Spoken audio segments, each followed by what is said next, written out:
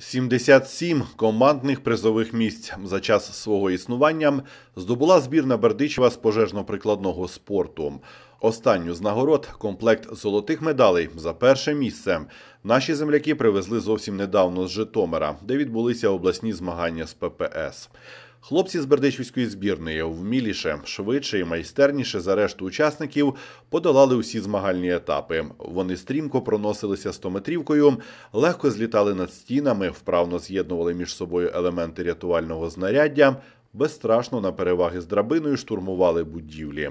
Переможну крапку у виступі наша збірна поставила у завершальній командній естафеті. Перший гравець мав пробігти будиночок, інший гравець мав, е, передаючи цей весь час естафету, інший перепригує через стіну.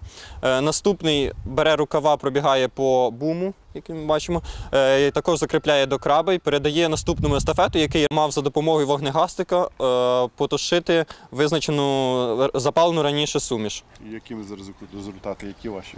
Е, На фіналь... е, в першій частині ми вибороли е, перше та друге місце. Е, На драбині ми завоювали перші та треті місця. На фінальній естафені ми виявилися єдиними лідерами, які показали, я вже повторюся, е, фіналь... рекордний час для того турніру. Е, Одна хвилина, 5 секунд, 90 сотих. Багатьом у Бердичеві відомо. Говоримо про місцевий пожежно-прикладний спорт. Маємо на увазі Валентина Ганоля. Виховання юнаків, котрі чи не найкраще в області знають толк стрімкому доланню перешкод, пожежним рукавам, крабам та іншому рятувальному реманенту, стало справою життя вчителя з п'ятої школи. З пожежно-прикладним спортом Валентин Ганоль вперше познайомився під час служби в армії. І той настільки запав йому у душу, що, прийшовши в 91-му році до п'ятої школи, вчитель запропонував директорові створити у закладі власну команду. Згодом учні п'ятої школи міцно закріпили за собою першість у міських змаганнях. Валентину Ганолю запропонували очолити збірну Бердичева. І ось вже 25 років незмінний тренер прищеплює любов до пожежно-прикладного спорту своїм вихованцям. Цьогорічна поїздка до Житомира стала для нього ювілейною, тож зрозуміло мріялося лише про золото. І команда зробила тренерові такий подарунок. Этот год у меня юбилейный был, 25-й. Хотелось, конечно, выступить достойно, отметив этот юбилей, О чем я попросил своих ребят. Ребята очень к этому подошли серьезно. Мы тренировались где-то в течение двух месяцев регулярно, 4-5 раз в неделю. Погода была соответственная. Я получал хорошую помощь от начальника СДПЧ Игоря Владимировича Шевчука, от его коллектива. И ребята выступили достойно. Мы выступили так, как, я не знаю, в ближайшее время сможет какая-то команда такой результат повторить, очень я сомневаюсь. Не одного юнака закохав у пожежно-прикладний спорт Валентин Ганоль.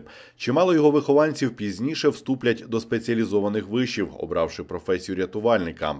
Обрав цей шлях і Ігор Савін. Пожежно-прикладний спорт дає не тільки фізичну підготовку, він потребує велику спритність, силу, ловкість, швидкість потрібно мати, але потрібно і думати головою, тому що можна все зробити дуже швидко, але щось неправильно. І тоді результат не піде ну, в зачот, не зарахується результат, і тоді буде просто нуль.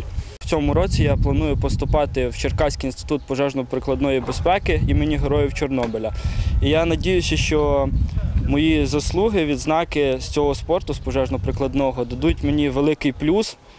І я надіюся, що я там попаду теж в спортивну роту і буду займатися цим надалі.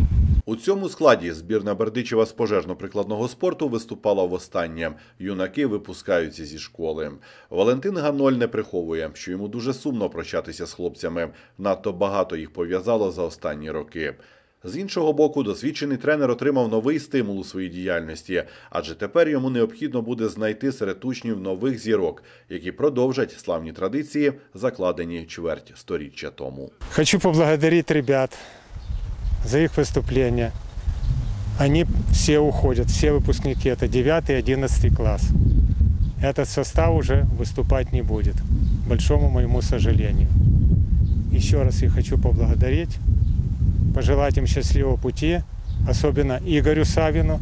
Он уже прошел ком- медкомиссию, поступает в высшее учебное заведение МЧСовское. Кроме него у меня уже шесть человек. Кое-кто уже закончил, кое-кто их учится. И хочется, чтобы традиции пятой школы продолжались. Я еще постараюсь подготовить команду в будущем.